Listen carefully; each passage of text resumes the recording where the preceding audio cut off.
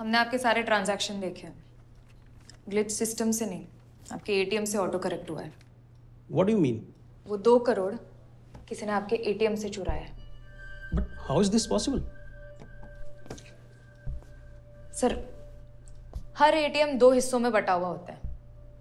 निचला हिस्सा जिसमें सारा कैश होता है और ये ऊपर का हिस्सा जिसमें कैमरा डिस्प्ले और प्रिंटर होते हैं और सबसे ज़रूरी एक कंप्यूटर होता है।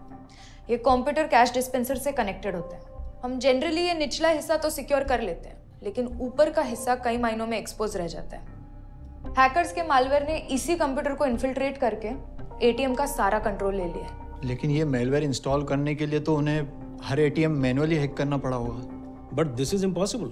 हमारे सब एटीएम सेंटर्स में सीसीटीवी कैमरास लगे हुए हैं जो रेगुलरली मॉनिटर होते हैं। इसीलिए एटीएम को नहीं आपके सिस्टम को ही हैक किया है। और इसी सिस्टम का मालवेयर हर एटीएम में इंस्टॉल किया गया है।